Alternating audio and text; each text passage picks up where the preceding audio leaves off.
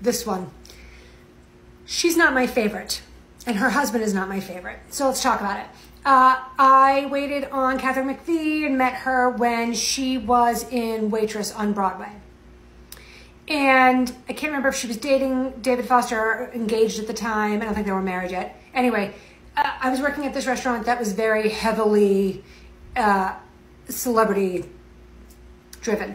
And David Foster had recently come in and had a bad experience because he felt that when he came in, he wasn't given the attention he deserves. We didn't seat him right away. We didn't seat him where he wanted. It wasn't like there, there was no acknowledgement that, oh, David Foster is here. There was none of that. So he's pissy.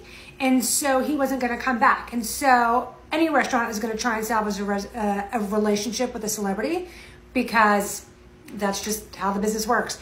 And so because Katharine was with him, that extended to her. You know what I mean? So she was in Waitress. The show running time uh, is two hours and 30 minutes. So an eight o'clock show, the show would come down at 1030. The last reservation at the restaurant is 1030. There is no possible way that she could end the show, assuming the show started on time, get out of, you know, costume and makeup, meet the people she needs to meet, sign the autographs, take the pictures, and make her way all the way over to the restaurant. She was never there before 11, ever.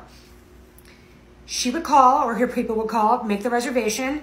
She would be the last table in the restaurant, be with her and friends or people from the show or whoever.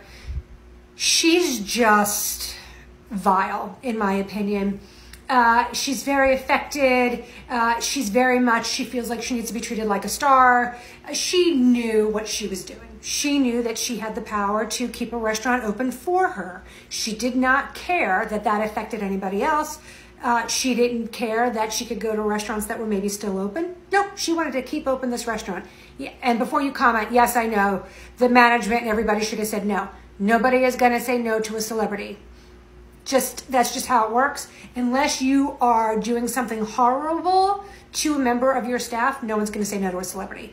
And so this was all in the effort to salvage the relationship with david foster because he didn't feel that there was enough recognition when he walked in the door. These two deserve each other